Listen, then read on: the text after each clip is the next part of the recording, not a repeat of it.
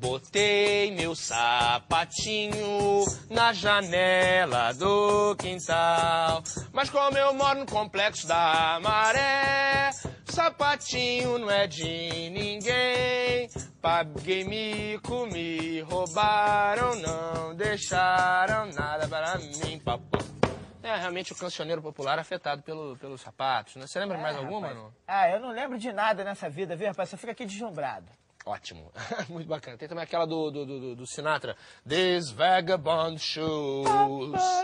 Esses sapatos vagabundos, quer dizer, o Sinatra esculachando o sapato. É assim, Sinatrão. Vamos lá, né? Vamos baixar essa bola aí. Né? Temos vários outros tipos de sapato também que a gente queria, queria lembrar aqui. O calçado infantil é muito interessante, porque ele pisca, ele, ele tem rodinha, ele faz tudo. Daqui a pouco ele tá dando doce pra criança. Tu fala, meu filho, não vai comer mais doce. Tudo bem, meu tênis me dá. O tênis dá doce pra Ah, criança. rapaz, o legal do calçado infantil é porque ele é infantil. Agora tem um duelo aí, sandália versus chinelo. Quem é quem? Quem que é o quê? O que que é quem?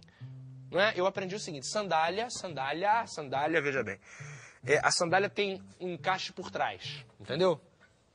A sandália, o chinelo ele é só a frente, né? Aqueles clássicos chinelo tem só a frente para aquelas tiras para acomodarem seus tiras para acomodar, tiras para acomodar seus dedos, tá?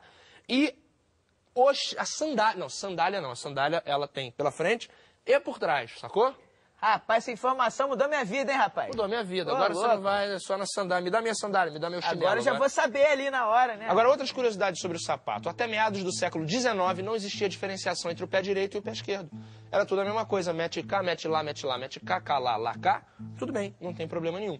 Maria Antonieta tinha um criado para cuidar de seus mais de 5 mil pares de sapato por ordem de cor e data da compra. Olha que loucura. E Rapaz. também, olha que coisa incrível. É que Os egípcios... faz, né? Os egípcios e os romanos, que veja isso, Ah. tinham o costume de desenhar seus inimigos nas solas das sandálias para literalmente pisar sobre eles. Olha aí. Rapaz, tipo Lenny Kravitz, né? Por quê? Ué, Lenny Kravitz faz isso direto. Faz isso direto. Agora, Lene, não bota na sua sola não, valeu, meu parceiro? Tamo lá, te espero lá em Madureira, aquele show do pagode.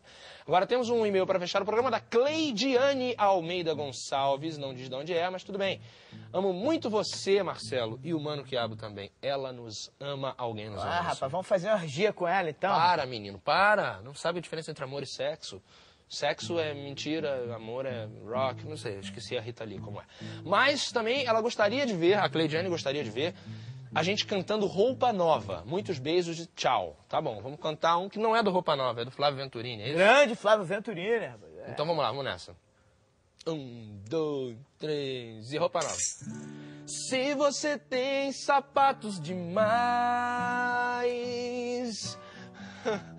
guarda no armário na parte de trás.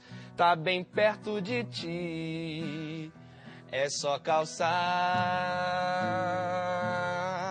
Tá bem perto de ti, é só calçar. Se você tem um tênis sagaz, uou, uou, limpa do lado e limpa atrás.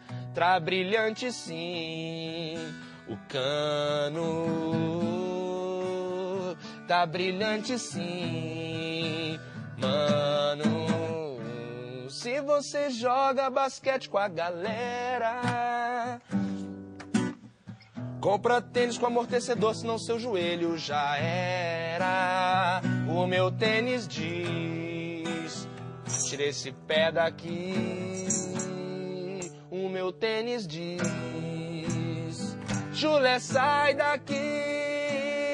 Sapato novo. Ele pode apertar o seu pé, molda ele pra se encaixar. Valeu, Cleidiane, essa foi aí roupa nova pra você. Um beijo grande em todos vocês. Mano, que o seu recado final. Ah, rapaz, é a vida aí. É a vida aí, galera. Valeu.